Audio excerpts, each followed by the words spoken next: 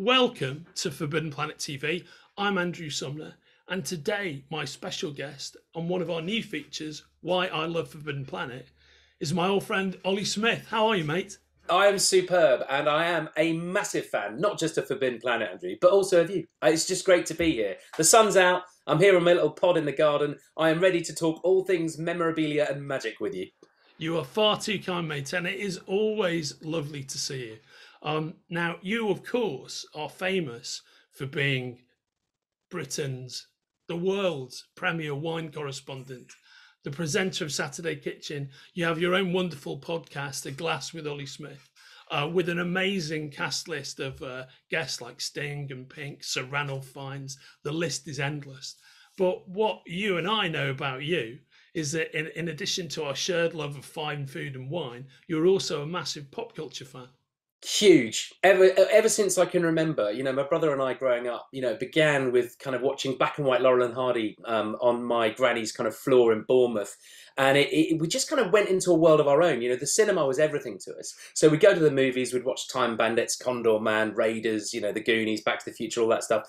And we'd log it and then kind of reenact it and then write our own dramas around it. So it was a very natural kind of flow from us being into those worlds and kind of slightly, to be honest, obsessive about them, um, to then, you know, reach into the world of, of what it means to remember them. And part of that was, of course, getting the memorabilia together, you know, tracking little kind of props and things that would feature. It, I suppose, really, it's, it's nostalgia, but it's also keeping all those things that mean something to you in the present tense. It's almost like little totems, little kind of relics that you have in your life. So, yeah, my brother and I still now, you know, we collect memorabilia. We, we spent a lot of time growing up heading off to Forbidden Planet, and we loved the, the shop on Shaftesbury Avenue, and, you know, used to buzz in and out of the store there. So, yeah, it's played a big part in my life without question. And you know, still now, you know, it, for Christmas this year, my brother bought me um, went to Forbidden Planet, bought me Lando Calrissian, you know, in his Return of the Jedi garb. He's sitting behind me somewhere actually with his with his axe ready for action. Little sideshow doll. Absolutely love all that stuff. You know, so yes, I'm in. You know, yeah, I'm there. Can I can I work? Can I come and work in the store? I love it, mate. I love it. Fantastic. When can you remember when you when around the time of of your first visit when that would have been? I think the first visit would probably have been when Will moved to London. So he would have been about 23. I'd probably be about 2021. Um, but I remember just going into the world and it felt the, the reverence for all the movies that I love was absolutely there. But it felt like a kind of a hidden back door into another dimension that reflected so many movies that I absolutely loved all at once and so many TV shows, but also styles and, and genres and stuff that you know visually gave me inspiration. So it wasn't just you know buying and collecting stuff it's also being in the store. It, you know for some people they might you know go to their favorite restaurants they might go to uh, the golf club or church or whatever it is that they do on a regular basis. But a big part of my yeah my kind of early years was definitely going to forbidden planet and having a browse. I just really loved it. Yeah, I, I, I think you're absolutely right. It's um the thing about Forbidden Planet, the thing about all of the all of these stores, uh, as as typified by the flagship store at one seven nine Shaftesbury Avenue in London, is that um it's a complete sensory experience, isn't it? It's it's not just a shopping experience. You know, there's there's a, you're completely accessing a whole environment, a whole way of life, you know, a whole way of looking at things. And That's I think exactly it's it. it's so much more than a store, right? That's what I've always loved about it. Yeah, totally. And and it feels like, you know, rather like my kind of colourful backdrop around me, you kind of never know, you know, where what's going to come next. And I agree with you. I think the feeling in the store, you know, we'd meet, you know, people who had common interests, we'd talk to staff members, but also you would just come across items that would remind you uh, of of shows and movies that you'd loved, and actors and performers and things that really meant something to you. So yes, it felt like an attraction, almost like going to, you know, back in the old days, going to Tussauds or something like that. It kind of felt like a special occasion being in the store and actually kind of, you know, it, there were certain Grail-like objects that you would, you know, you would revere that were behind glass, you know. So there is, you know, for, for a real movie fan like me, you know, th- this was a way of making it a tangible place that would bring all your kind of dreams to life, but in a very kind of in a very real way. And then, you know, we'd go off and head off into London and, and talk about what we'd just seen and then dream about maybe saving up for something. Or yeah, it, it just it, it really does have, you know, huge place in my heart for the, for those special moments. And a lot of it shared with my brother Will. Wonderful, uh, and it's great to have something you can. I, I do have a brother that uh, is is very much into the whole pop culture sphere sphere, and it's great to have a sibling that you can you can share those things with. And, and nowadays, uh, my kids are adults; it's the same deal. They're into all this stuff as well. So it, it, it's wonderful having friends and family you can share interests like this with. Yeah, yeah, it really. I mean, I remember the first, you know, uh, sort of moment when we got into like Star Wars figures. Then we got to like yeah. He-Man figures, and his was Man at Arms. Mine was Beast Master, Beast Man, even. Um, but we were always kind of into different ends of the, the, the kind of world as well. So I used to collect soundtracks, and I still do. You know, I've got a lot on vinyl from the early years. You know, I was very lucky. I was hoovering them up when they were very unfashionable. So kind of original Star Wars stuff and Raiders and stuff that really was hard to get.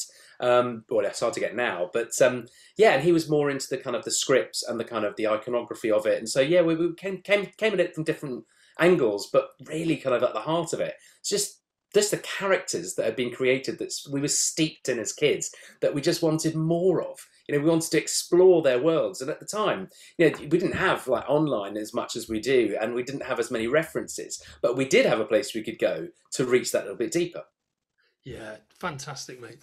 Can you remember can you uh, can you remember some of the key things you've you've bought at forbidden planet over the years Oh, absolutely. I mean, I've got I've got quite so I collect quite a lot of memorabilia and things, and, and some of it's quite you know specialist. Like I've got some original artwork, some concept art for the uh, the poster of North Sea Hijack with Roger Moore. Didn't oh, get used, but it's an original wonderful. item. It's, yeah. I love that. It's incredible. You know, I've got kind of one of the, the Star Wars helmets that um, the artist redid a bunch of them. I think it was about 15, 10, you know, 15 years ago. And I got one of those and a numbered signed one, all of that.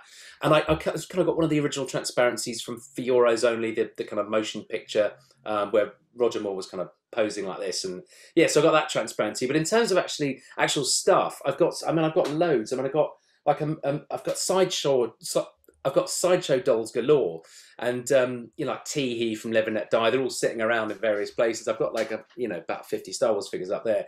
But it, it was for me, it was kind of Bond Star Wars that got me in. But then like Star Trek as well. You know, I, I remember those figures. You know, and they again, I treasure those. You know, and figures was kind of where it began, but then moved into you know the world of key rings, the world you know garments, calendars, you know the whole nine yards. So across all the genres, there's I mean there's a stack of stuff. Like I'm sitting here, I can see there's a there's a Jaws uh, sort of desktop set up there. There's a Roger Moore um, original kind of action man in it. I, you'll see Roger Moore crops up a lot. I was you know he was my Bond, and I got to know him and stuff. And I really uh, yeah I love all that world. So.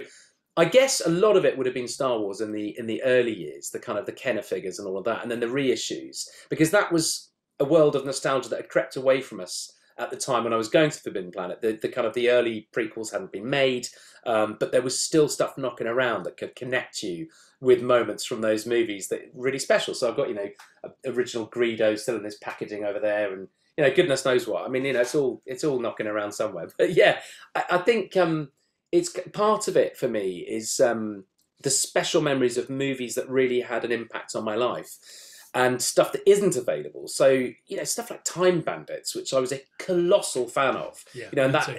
yeah, it's one of my favourite movies still now. And I there's, there's actually a wetsuit from one of the um, one of the characters for sale on eBay at the moment, but I can't find if it's I can't remember any wetsuits in the movie. So I'm thinking it was a, a wetsuit for when they were doing maybe the water shots in their Titanic sequences. Maybe it was underneath their uh, I think it underneath was. their tuxedos. Yeah. Yeah. but it's a few grand, and I'm thinking that's a, that's a lot of money for something that's um, you say has been on screen, but I, I don't remember seeing that at Yeah. all. However, um, it's stuff that's almost really difficult to get. That, that, that doesn't have a lot of kind of you know presence and availability. Like you know as amazed like the soundtracks to time bandits you know the george harrison song at the end is one of my favorite songs of all time. George harrison a little photo of him on my desk he's an absolute legend. And that was my first sort of baptism into his music really. Um, but the movie you know you couldn't get the soundtrack. They've recently reissued it on cd which is fantastic. Mike uh, moran has done a, just a brilliant brilliant job. Um, but yeah so it, it's it's when things are reissued you know and you find things like stuff from the black hole um, like Will, my brother, again this Christmas, he gave me, an, you know, a, a, really lovely album. He'd collected, I think, I think it's all of the cigarette cards, the bubblegum cards, not the cigarette cards, bubblegum cards, you know, from the Black Hole. So it's lovely to see Vincent and Maximilian and all those characters in one spot. But it's the care and the work that he put into making this thing and sliding them all in. It's like, I mean, Will and I really, really love memorabilia, but just movies, it and it means everything because we both ran off into show business in different ways he you know uh, produces and writes um, shows and I, I appear in things and scribble and do all sorts but it all started with that relationship and um, yeah for forbidden planet was a huge yeah Kickstarter for it as well. Now, now you you've touched upon a couple of things when you you were chatting about Forbidden Planet, then, and uh, some of these are things you and I have talked about before, but I, I wanted to pull at least one of them out, which was uh, actually first of all the Black Hole, right? Yeah, so, totally underrated movie. Massively. I mean, I mean, a it stars Robert Forster, right, an amazing actor. Yeah. And B, it's one of the last great examples of uh, those beautiful Harrison Ellenshaw matte paintings. So the spacescapes in that movie really look like um, yeah. no other science fiction yeah. film. And I, I would heartily recommend because it's I, time and time again I meet people who haven't seen the black hole, and while there are there are elements of it that don't travel, that there's a couple of those aspects, and just the way it looks is so amazing. I would recommend anybody check that film out. I'm I'm totally with you on that, and I think you know there are various touchstones of space you know that we had growing up. We the black holes are a massive one for me, and the spacescapes are incredible. You know there was Flash Gordon, those wonderful color oh, washes oh, when they're approaching skies, the sea of yeah. fire. Oh, yeah. it's just extraordinary, and the sort of yeah. droplets of liquid that they use to conjure it. It looks fantastic. Obviously, Alien was was you know darker and, and all of that. Um, Ice Pirates, you know, and Spacehunter, all those kind of spin off movies from the great success of Star Wars. You know, there were so many of those spacescapes that informed I, I, guess the idea of you know limitless adventure, and obviously Star Trek, you know, as well. There was all of it, but the, you're right. The black hole has a canvas that is like no other, and it is available on Disney Plus. They've re- it's there, so if you've got that, yeah. I, I, am with Andrew. You know, download it, have a look. It's um, it's it's worth it if you, if you're into space, do it.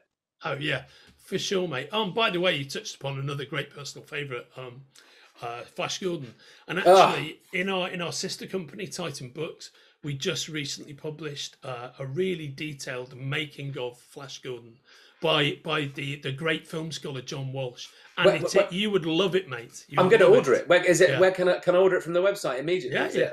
Oh, as soon as we're done. Yeah, Yeah, I'm there. I- that- you're Yeah. going to literally see the time scale, time on, on the on the purchases. Like that is absolutely me. I, I remember buying the vinyl of that after I'd seen the movie, um, and just relentlessly listening to it to try to remember the script, try to remember moments. You know, that the costumes are incredible, the look of it.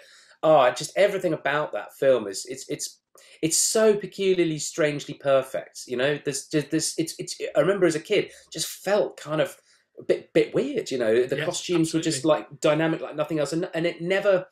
It, it doesn't seem to have aged. In, in you know, it sits as a operatic, peculiar, self-aware romp. There, there are bits of it now that still terrify me, but there are moments that the whole thing, from the soundtrack to the direction to the acting, you know, even Sam J. Jones, who I'm sure would admit himself is a, is a, is a tad wooden. He, he's kind of supposed to be. That's the Yeah, deal. that's He's supposed right. to be a jock, you know, and it, it works. It's it's. I mean, it's top hole for goodness sake. Who doesn't want to watch him? I know, I know, right?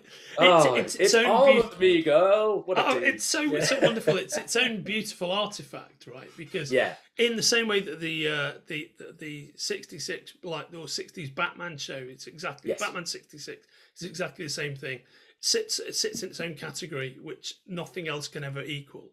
And and that's the same with Flash Gordon. No, it doesn't, if they make another great like Flash movie in future, that's cool. And there's all the great old Buster Crabbe serials, but the the uh, Sam J Jones movie is just in, in a super category of its own. It's not really like anything else.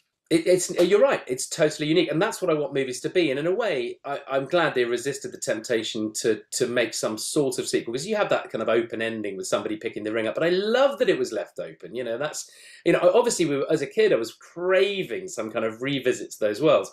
But I think you know, if they do reboot it, um, you know, I, I don't mind as much as I probably would have done in years gone by because I've seen what Dune's done. You know, and that's been extraordinary. How I, I, I just I, I finished that movie in the cinema and just rebooked to go and watch it again. And then again, it's a, I, I, I wasn't crazy about Dune the original to be honest, but I know loads of my mates were.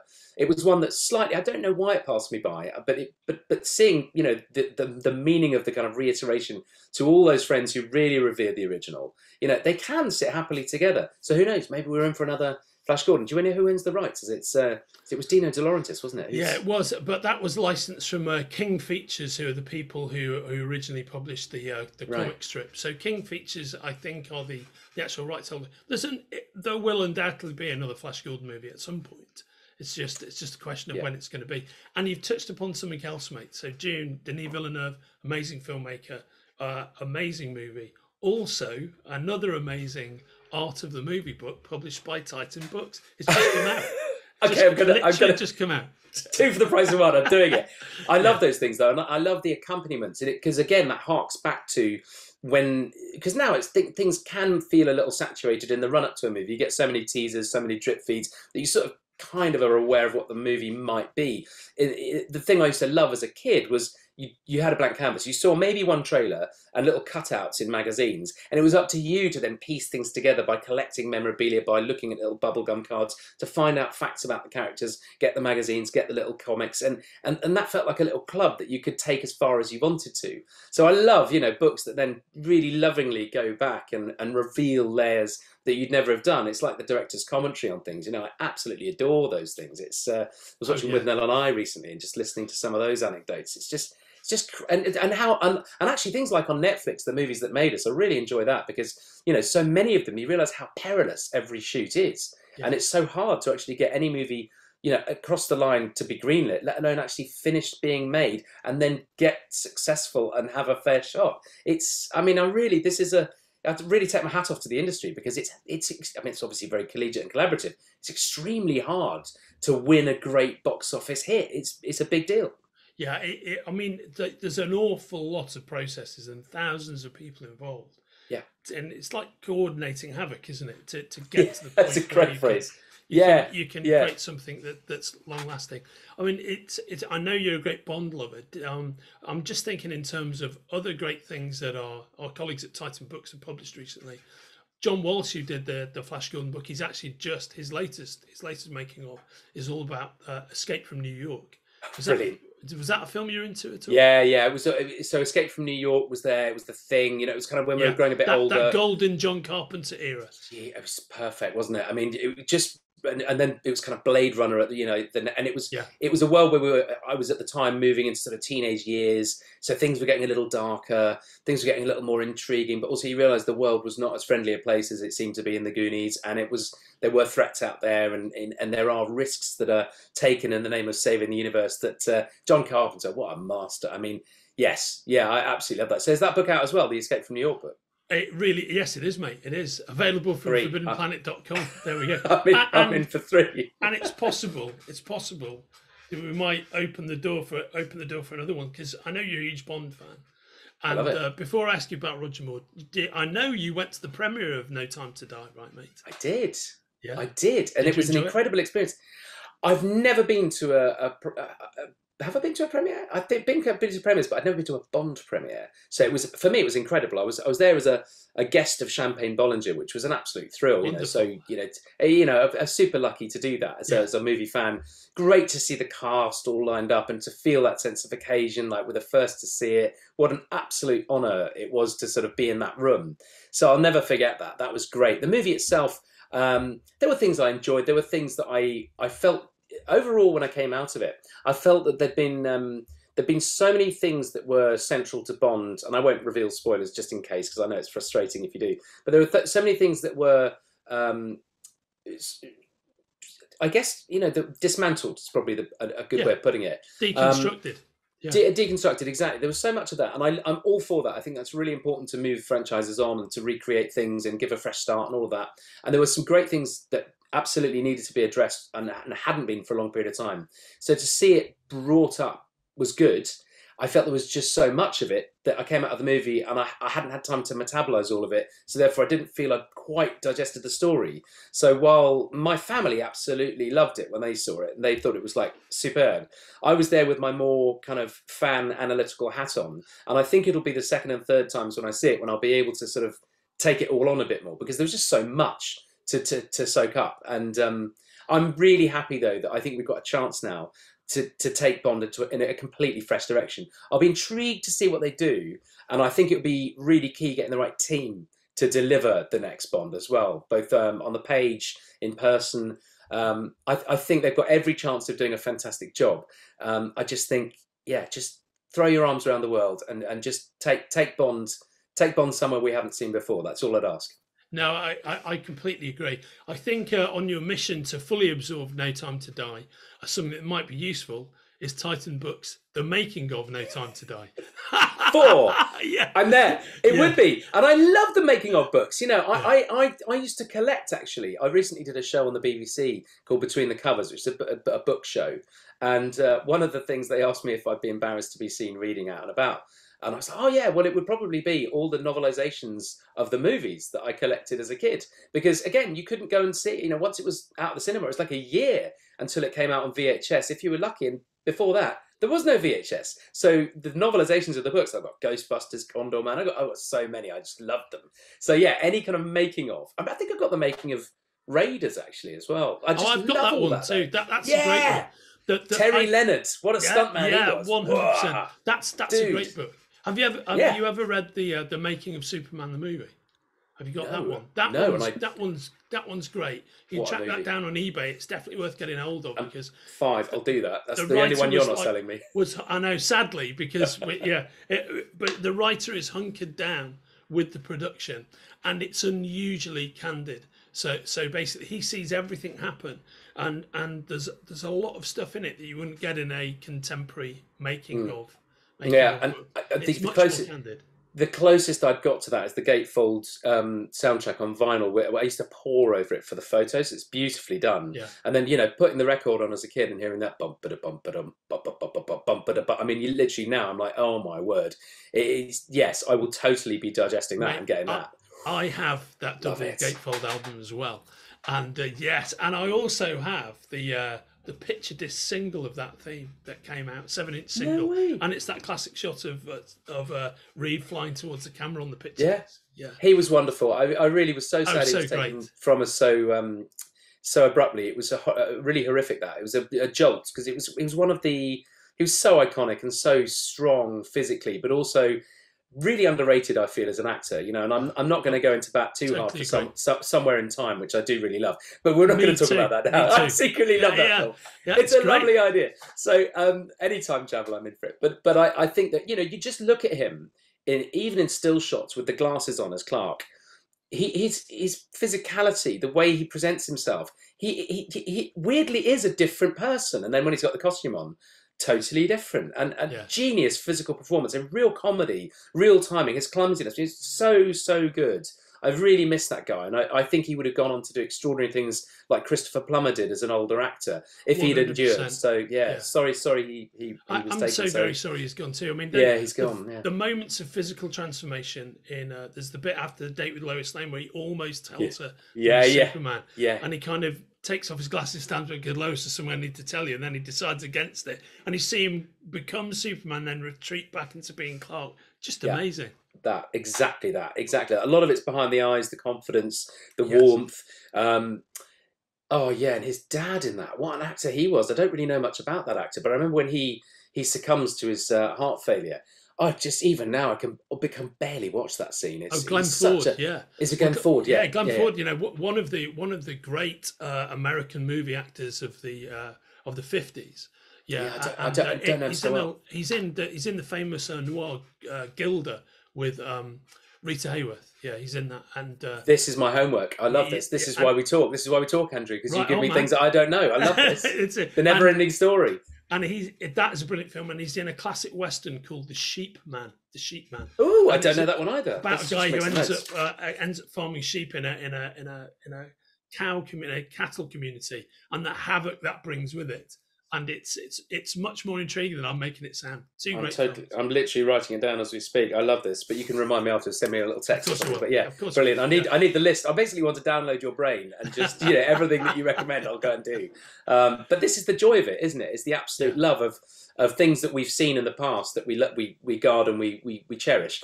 But also, it's it's unfolding right now. There are so many great movies that are coming out that are you know out there. Is so many, there's so much telly now. I mean, you know, we could talk about the Mandalorian and Boba Fett's interesting. I, I've got a few things to say about Boba Fett. I was a big fan of the um, of the kind of the concept of the book of Boba Fett, but I, I, I quite, quite, quite, quite like the um, the first episode. But yeah, and again, I don't want to reveal too many spoilers. I, I tell you what, I will reduce my criticism to this: the the actor is is fine. He's not the greatest actor in the world, but he doesn't need to be. It's not that.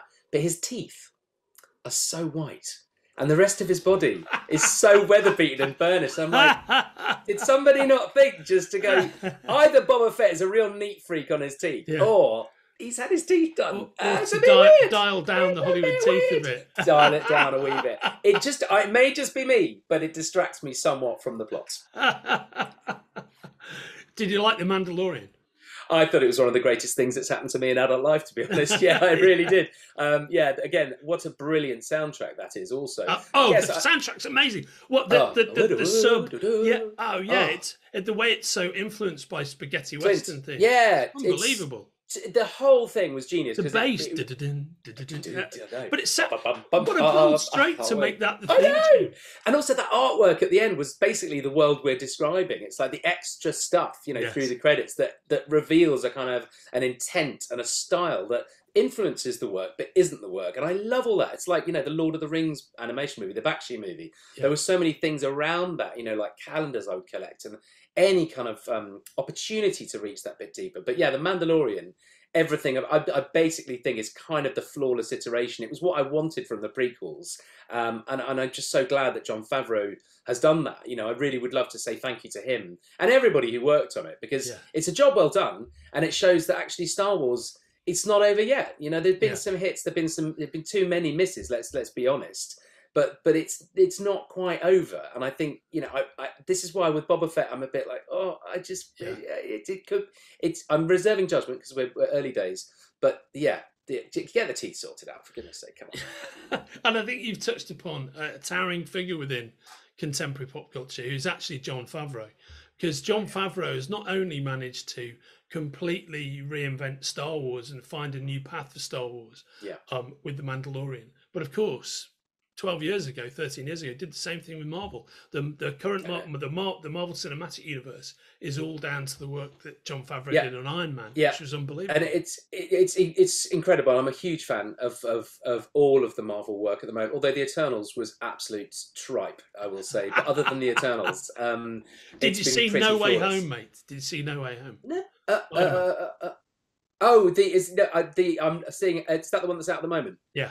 I'm seeing it tonight. I'm literally. Oh, I've got oh, my mate. tickets. I'm. You, I know. I'm not going to spoil it. You're in for a massive treat. It's it's can't wait. fucking great. I, ca- I great. cannot wait. So I, I, I think what Favreau did with Iron Man was incredible. The, the amount, the caliber of the actors, but the real clever thing, right? Whether it's Guardians or you know whatever the kind of the movie we're watching, is that they managed to blend that palette and feel, and and, and, and in the Avengers it all comes together and it works. I mean that just Yeah. in the writers' room that's impossible, and yet they've done it, and they've done it with elan, they've done it with style, they've done it with entertainment and grace. It's a movie that you know my kids watch, I watch. I, I, I could watch it with mum and dad. You know, eh, come on, they're, they're just they're just absolutely incredible. They kind of make me feel how I felt when I was watching, you know, Superman one, two, three at the at the cinema when I was growing up. That that's really hard to do. Um, yeah, but they really um yeah, hats off to Favreau. Let's open the Lord Favreau Arms in his honour. What a great pub that would be. It would be superb. It would be absolutely superb. Let's face Yeah. it.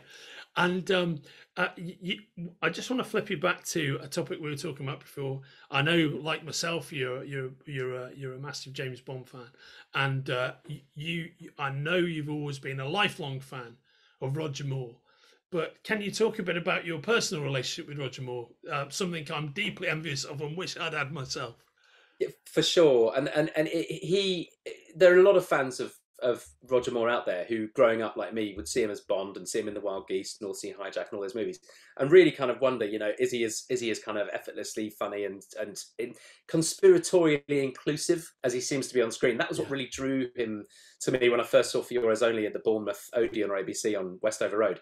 Was just he seemed to be drawing attention to the fact that he wasn't necessarily the world's greatest actor, but that you were kind of in on it as well, and we were all going on this journey together. So come on for the ride. It was all that kind of feeling. So it was very inclusive. He was exactly like that in person. He was so warm-hearted. Um, and you know, the very first time I met him, I had I was, I was terrified. I went to record some voiceover with him for a project I'd put together for UNICEF. Um, and I, I kind of turned up in you know in Monaco as you do to go and meet Roger Moore. I mean, where else are you going to meet Roger Moore?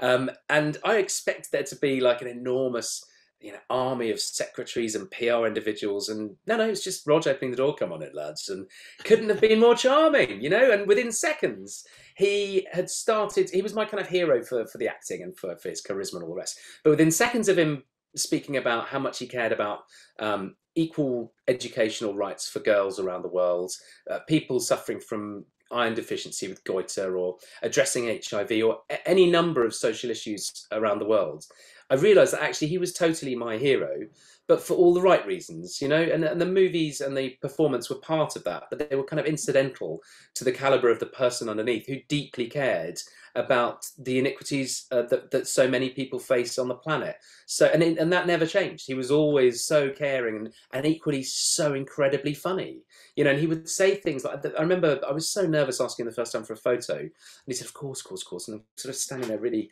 you know, upright and very kind of regimented. And he says, of course, Olly, you know how to make someone laugh when having a photo taken. And you're like, no, how do you do that, Rog? Witty titty sex. And then away you go and like, it's like it's slightly obscene but it's titillating and you, it's just it, it, totally had the desired effect. I was like cackling, cackling away and we got the photo and and then we became great friends after that. And every time he came to london you know if, if it was you know if it was it would fit in his schedule we'd, we'd, we'd hang out. And i remember introducing him to my brother that was enormous and then my, my wife and she would say you know very in my view quite quite cruel things like are you sure he's going to remember who you are? And i'd be like i hope so then you know little things in life like receiving a birthday card from from somebody who you've watched you know in the movies growing up i can't tell you what it meant to me but also you know the kindness of him you know and, and his love of food and wine great fan of sancerre and all the all the kind of opportunities that went with it. I remember having lunch once with um, richard Kiel and blanche Ravalec which if you're a fan of moonraker jaws and dolly yeah. And I was sitting between them at lunch, and you just think, how is this even happening in my life? This is so exciting. I'm I'm literally popping with glee. It's Richard Actual Kiel. I mean, he's he's in Force Ten from Navarone. I love him. Um, so yeah, so it was the things that Roger brought as well, but also keeping one eye on the humanity of the business. Um, and he never had a bad word to say. He really didn't. You know, he was just so effortlessly graceful. So yeah, I'm, i was just really glad to get to know him as I did. And then obviously I, I, do miss him still now. I think of him. You'd be surprised. Most days I probably think of him in some way or another, just because he was so funny. And I, one of the things I wish for Rog retrospectively was that um, you know post Bond he did you know, Fire Ice and Dynamite and, and a couple of movies, you know the the Quest and so forth. But I think I just think his voice was magical oh, and it was yeah. un- underused like uh, audio books for a start but just yes. character wise in animation or in you know he he had such presence i mean he, in with so much quality animation happening now mm. you could imagine Roger's voice in in like a, a Studio Ghibli movie or in one of yeah. the one of the great contemporary Disney or Pixar movies. He'd just be so good in those. Yeah, I, I mean, I, I, used to be an animation screenwriter, so I, I, worked a bit on with Wallace and Gromit and Pingu and Charlie and Lola. So I actually pitched and put together a couple of trailers. One was Sir Roger Moore's Spaceman, which Rog voiced, and it was you know it was this idea that he was uh, I think it was, oh, I, I, can't really remember the concept. I'll come back to it anyway. But the other one was where he was like a supervillain living in a mountain lair in the shape of his own head. And that was actually genuinely quite funny. If you imagine, you know, all the sensibilities of Ming the Merciless, but in the guise of the world's loveliest man, you know, living in a lair. And, and it, yeah, neither of them, we just couldn't, we just couldn't get them away. And we tried really hard. Um, and I, I, honestly look back and I'm baffled as to why, because the ideas could have been developed if they weren't deemed to be strong enough, no problem. But having somebody of that caliber attached, just oh, I, I really miss those those those years when we could have all just enjoyed so much more of him. Yeah, of course. That that that that really is wonderful, mate. And it's great that you, you know, we always miss our, our loved ones and our close friends, but great great that you had that really meaningful relationship with him. What a yeah. lovely, what a lovely uh, event yeah. to have in your life, mate. You know, yeah, it does stand out. Thanks, man. It, it, yeah. it, was, yeah, it was. I just wish you could have, you know, and all the people, you know, watching who who similarly like him. It's just like, oh, I just oh, wish mate, you could have had the moment because it's it, it's exactly as you would have imagined. Yeah. And that that's wonderful to hear.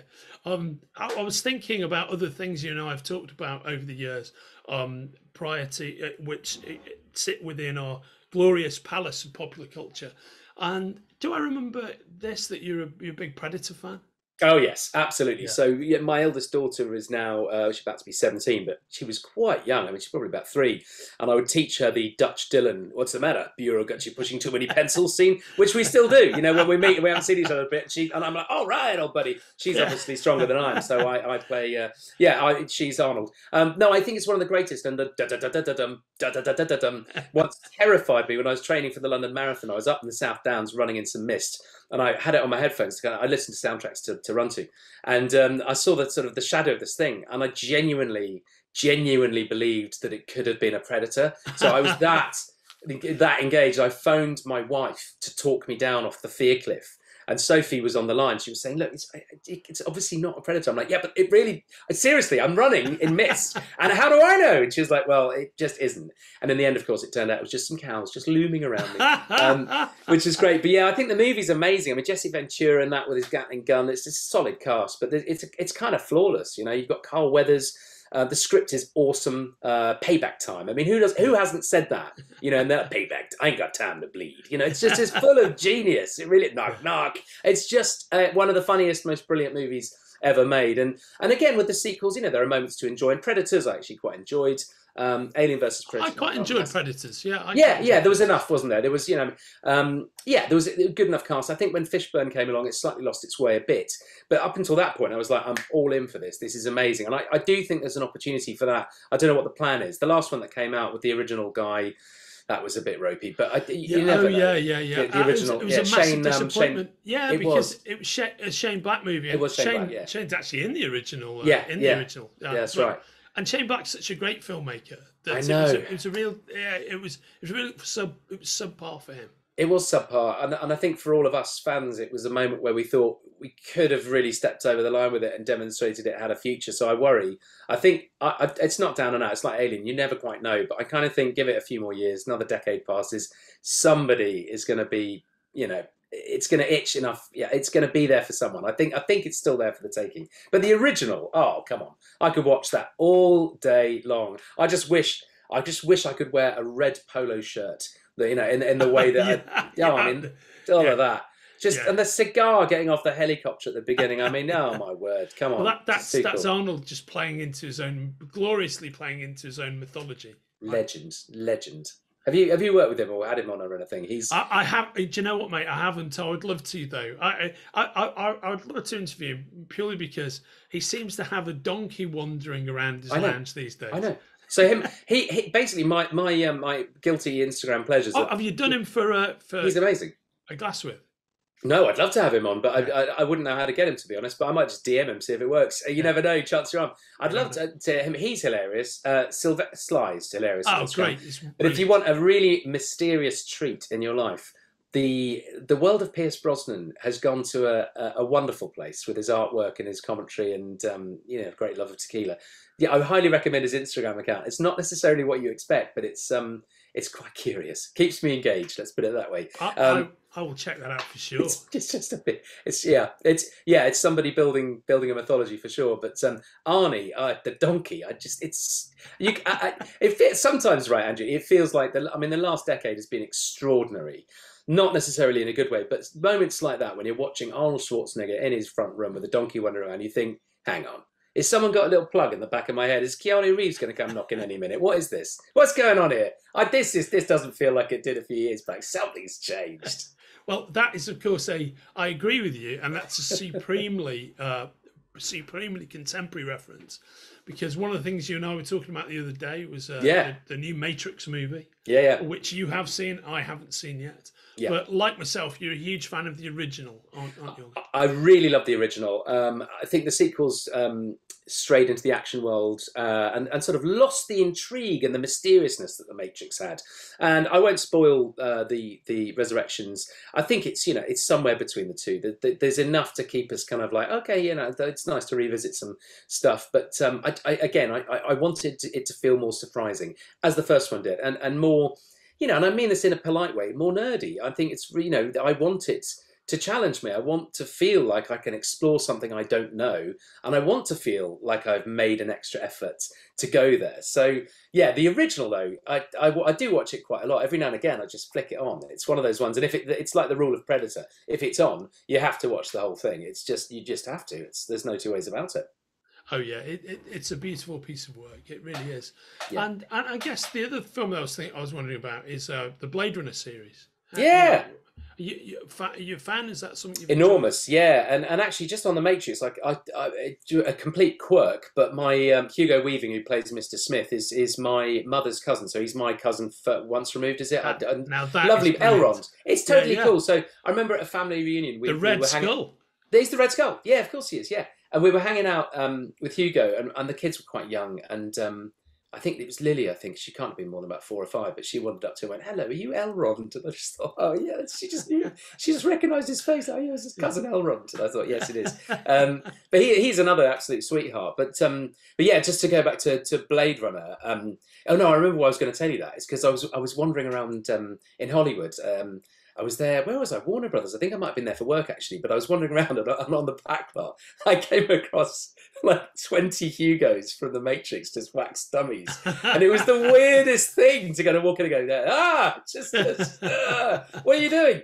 Um, anyway, yes, Blade Runner, massive fan, loved it from the off. Um, everything about Blade Runner delights me. Uh, um, again, soundtrack, visuals, the first fire going up, you know, the, the memories of Port Talbot and all of that. You know, I, uh, Vangelis just delivers a, uh, the, the, it's it's it's almost like immersing the visuals into an aural uh, way. That's all I've got. Uh, but it, it, it's just that total immersion into a, a universe that is so beautifully drawn and so carefully considered um, everything about it satisfies me. I love the characters. I love that. And actually, I did I did quite enjoy the um, the Villeneuve, the uh, yes, 2021, is it? Yeah, yeah. 2049. Yeah. Thank you, 2049. I'm, I'm, I'm yeah, I need more coffee. Um, but yes, I did enjoy that um, more than I probably expected to. I haven't revisited it which is interesting. I will revisit it. What do you feel about the uh, 2049? Well, I think it. I think it's a very interesting continuation. Um, yeah. But I think if you want to revisit the uh, the universe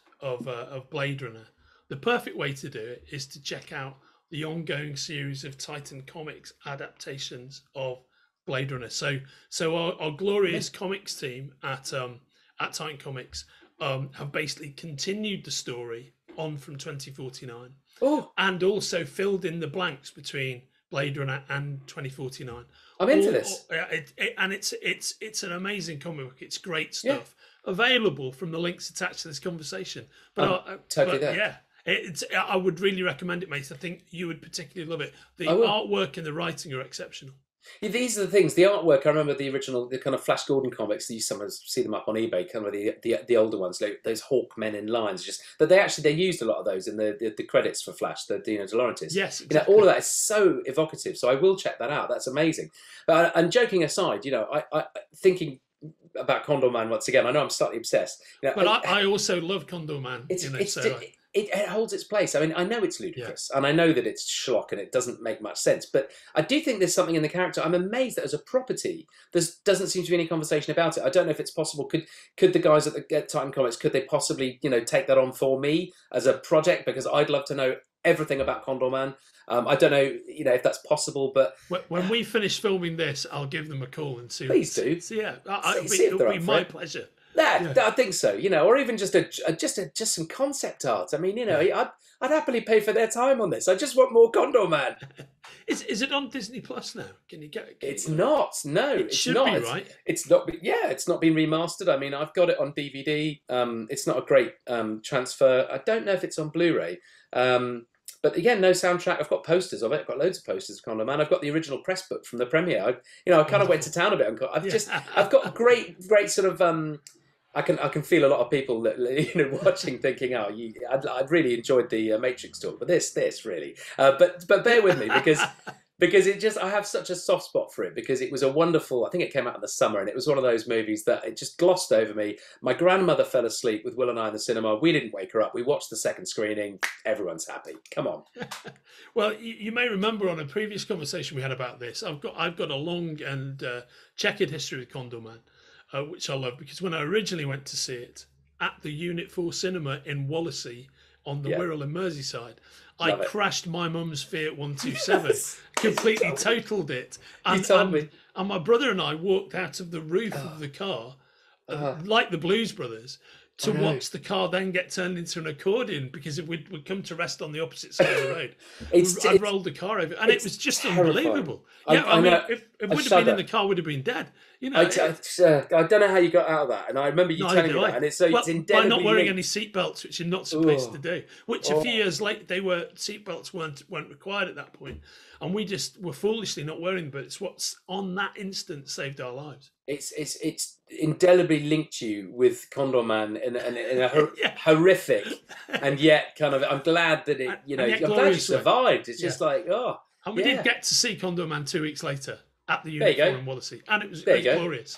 So there yeah, we and go. you and you mentioned the Blues Brothers as well. I mean, what a movie that is! And talk Oh, about man. soundtracks. Oh, hey, have you seen the new Ghostbusters, The Afterlife? I have. Uh, and have, have you seen it, mate? Yeah, yeah. I mean, I, I was, I, I kind of got along with it better than I anticipated I would, Yeah. to be honest. I, It- eh, at the eh. end, you know, I quite, yeah, what, what, so nearly revealed. Oh Ooh. yeah, yeah. Oh, It- it- it- naughty, naughty. It was it was much better than I expected. Yeah, I think we can say that, can't we? It was better than better than anticipated. And again, maybe there's life in the old dog yet. We shall see. We shall see. We shall. I, I, and Olly, thanks so much for for sharing this this time with me.